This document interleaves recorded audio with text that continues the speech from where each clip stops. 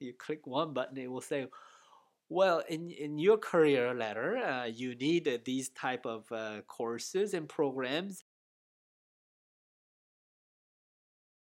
And here are the courses and programs that your friends have taken successfully, and here are the outcomes.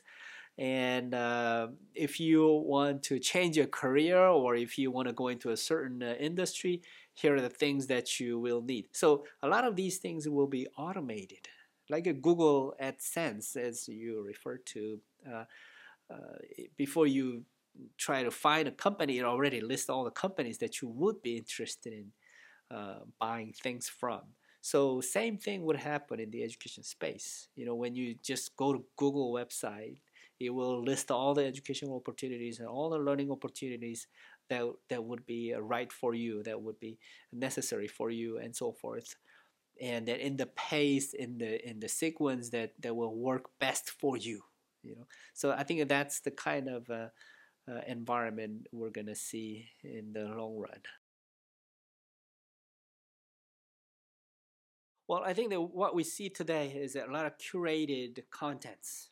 You know, there are great contents by great professors from great universities, and then there are platforms that are curating all these contents nicely, so people can go find it and take courses, etc. So that's probably generation one model.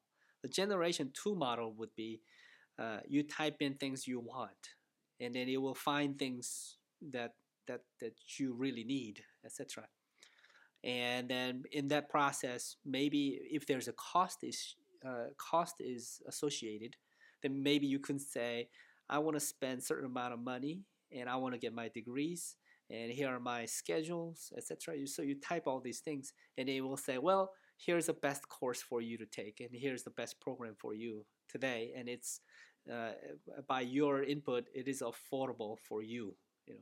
So that's probably generation 2 model generation 3 model that i think that it will come in the in the long run is basically you don't even have to type in things because they already know who you are and what you need and what you want.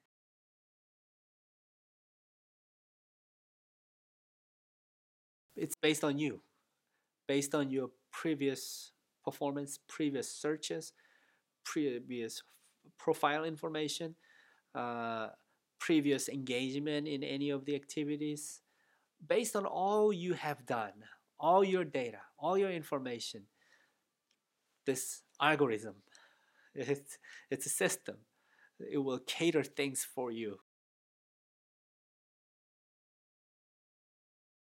It's good and bad. It's good and bad. Uh, good thing, you will uh, realize something that you haven't seen before uh, maybe you had another potential in different career.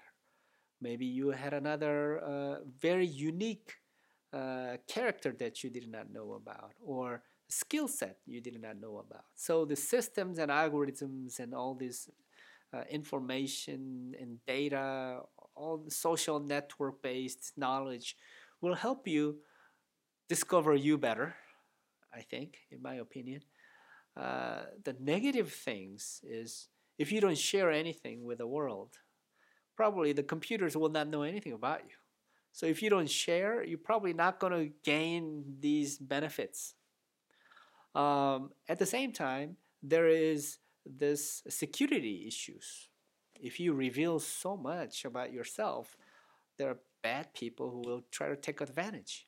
So how do you draw the boundary between how much you want to allow and how much should be allowed? Right? And then uh, things that you want to share and things that you shouldn't share. So I think this type of uh, uh, area would be uh, another learning ob uh, objective for schools, I guess. I guess schools should teach children what to share, what not to share, how much to share, what to do and what not to do, etc. These are probably new topics that I think the school should be covering